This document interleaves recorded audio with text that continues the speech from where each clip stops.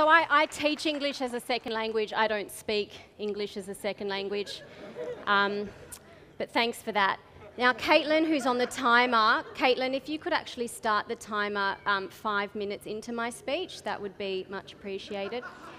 Um, allergic to bells. So, um, my name is Tami Sussman. You might remember me from VibeWire's fastBREAK back in March when the topic was I Am Woman, and following my expose into female shame from menstruation to masturbation to my own inverted nipple.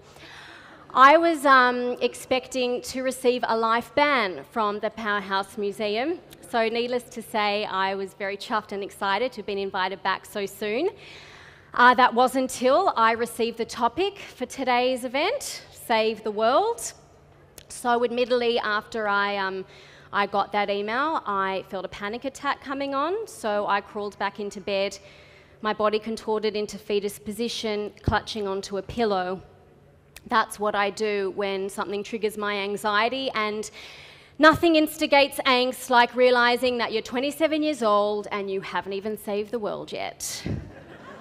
Not only that, I haven't even contributed to saving the world. You see, because I'm one of those people who wavers between extreme, extreme pride for having followed the creative path and extreme guilt that I didn't become a registered nurse who also teaches in remote communities where everyone is blind.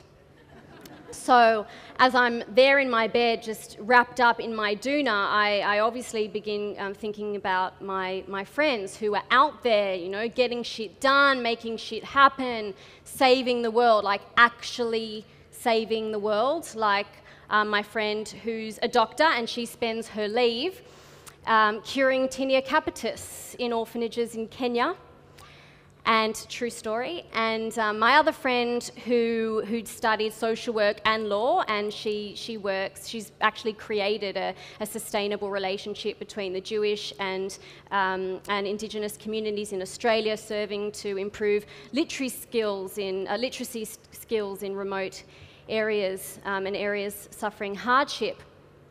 So um, it's kind of got me thinking. What are those legends still doing being friends with me? So I sent them a text, um, hoping that their answers might help guide my speech today.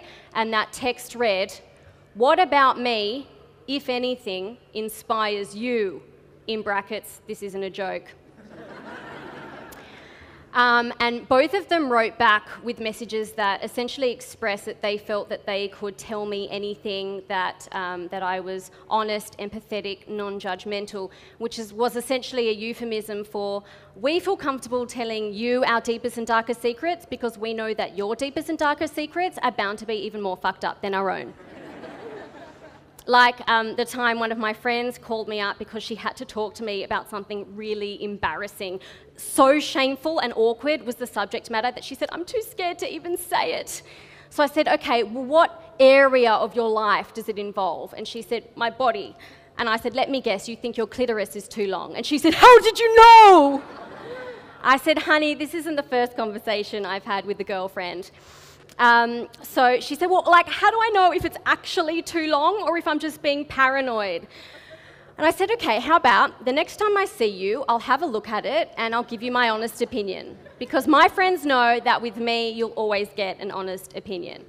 Okay, but no, she, she needed to know now. She was planning getting her sex on that night. She needed to know now. So I said, okay, well, we'll have to improvise. Here's what we're going to do you're going to hang up the phone, you're going to take a picture of it, you're going to send it to me, and then I'm going to give you some feedback. Just make sure that your face isn't in the picture, okay? In case I happen to like lose my phone before I had time to delete it. So she hangs up, she sends me the picture. I look at it, I call her back, and I say, There's nothing wrong with your clitoris. Coincidentally, it looks very similar to my own. I thought that one would have a bit of a reaction, not so much. Next slide. No, just joking. Okay so a few months later, um, I was actually chatting to a male friend, and he expressed that he was self conscious about the size of his penis. Luckily for him, we were in the same room, so he didn't have to send me a picture. Fuck the bell. Um, and so I said, okay, up you get, pants down, let's see him. And he didn't feel comfortable with this method. He instead opted for the, the thumb and index finger measuring system. And I went home that night and I wrote a poem, or I started to write a poem for him, and that the title of that poem was First of all, your penis isn't actually that small. So, because there's obviously more to it than just that, right? Um, so now that, that the bell's gone and I've covered, I've, I've mentioned menstruation, masturbation, inverted nipple, clitoris, penis, it's only fair that I talk about anus. So, um, so last year I did a gig and, after, and in, I just come back from Mexico and during that gig I referenced the fact that I had just recently been in Mexico and I'd referenced the fact that I'd contracted salmonella poisoning while over there and um, misguidedly used alcoholic wipes during this time on my anus, um, which, which resulted, fuck the bell, in, um, in some, you know, some extreme, uh, extremely painful, ever so slight, but extremely painful anal, anal lesions. And um, after, after my gig, I know, how's the food this morning? It's good.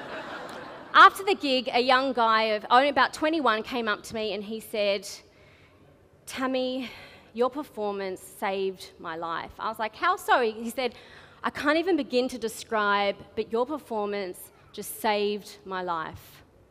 Or was it changed my life? I don't know. Either way, it was pretty profound. Which got me thinking, you know, that yes, some people do need their tinea capitis cured, and other people, they do need um, their literacy skills improved in their area. And then there are others who just need to know that they're, they are okay that they're not the freak they thought they were, that they don't need to go around carrying the shame with them, they can let go of that. And sometimes they need to hear that from a friend, or sometimes they just need to hear it from a verbose, crazy person on a stage with a microphone. So while I'm not, I'm not fully convinced, I'm willing to flirt with the idea that maybe I am saving the world one fucked up story at a time. Thank you very much. People will leave today with a really good toolkit of, of actions to save the world. People just taking matters into their own hands. We really do have the power. to empower people to, I guess, feel comfortable in their lives. Connect that passion and talent I have. Don't just do one thing, do hundred things.